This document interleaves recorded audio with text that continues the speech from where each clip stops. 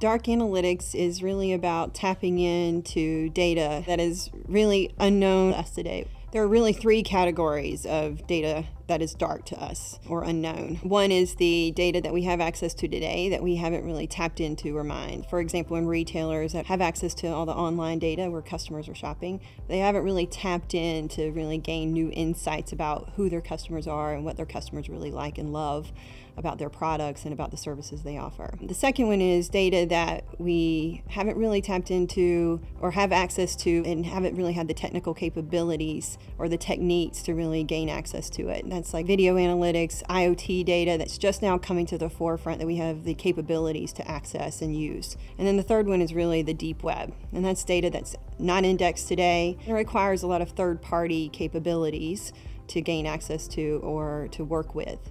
Examples of that are things like healthcare records, information that exists within the banks that are really behind firewalls, and you would have to work with a third party or work with that organization to gain access. But it, there's more to it than just having access to it. It's how do you leverage it? How do we get back to the right business questions we're trying to answer, gain value from using the data in a meaningful way?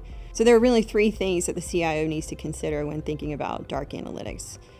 One is the ability to access new techniques and serve that data up to the business in new ways, using machine intelligence to, to meet the business demand. The second is around infrastructure infrastructure costs. How are they going to leverage the cloud, new data platforms, new ecosystems to be able to, to draw in and store and maintain and provide that data up for the business. And then the last one is around partnerships um, being able to access that data that they don't have access to today, and even monetize the data and embed it in new products, services, and offerings. Leveraging those partnerships both from a talent perspective and to gain access to the data that we don't have access to today. Dark data is a, is a huge potential opportunity, and that if we don't tap into it now, we might miss out.